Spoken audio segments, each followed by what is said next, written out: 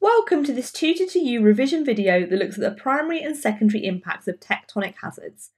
This is part of Paper 1, Unit A, The Challenge of Natural Hazards. When tectonic hazards occur, they result in numerous primary and secondary impacts. Often students and teachers find it tricky to distinguish between the two. But it is important to be able to do so as they often come up in 9 mark exam questions. Primary impacts are the direct impacts of the natural hazard. They are caused either by the earth shaking or a volcano erupting, and they happen during or immediately after the event. Primary impacts include loss of life and numbers injured. In earthquakes, this is those who are killed and injured by collapsing buildings and falling rubble.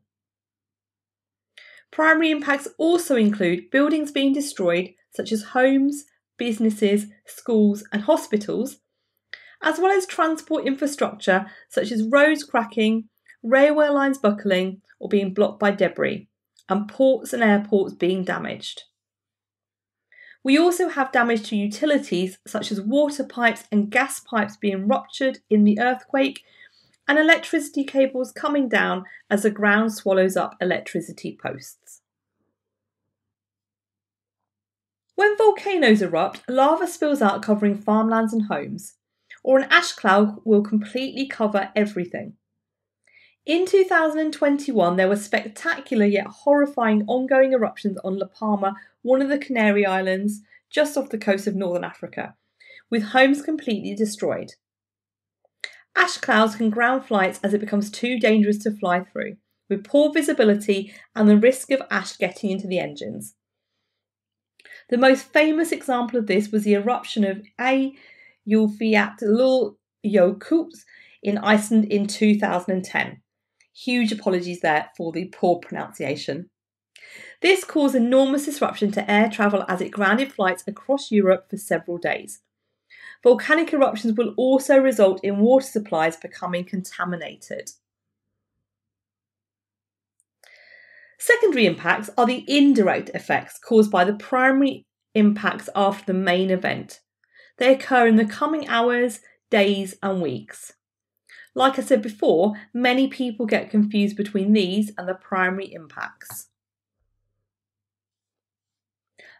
Earthquakes often trigger tsunamis and landslides hours after the main event. These are secondary impacts.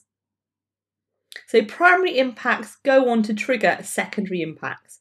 For example, damage to road infrastructure would be a primary impact, and as a result, there would be a secondary impact of communities being cut off.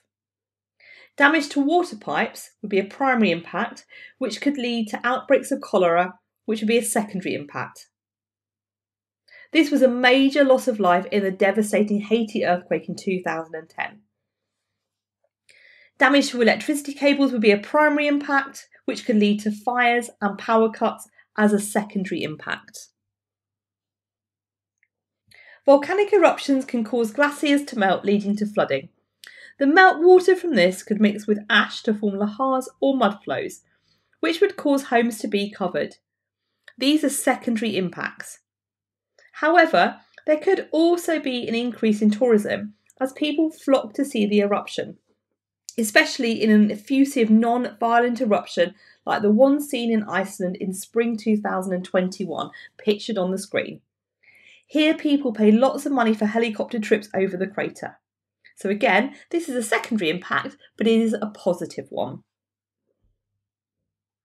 That concludes this tutor2u revision video focusing on the primary and secondary impacts of tectonic hazards. Thank you for watching.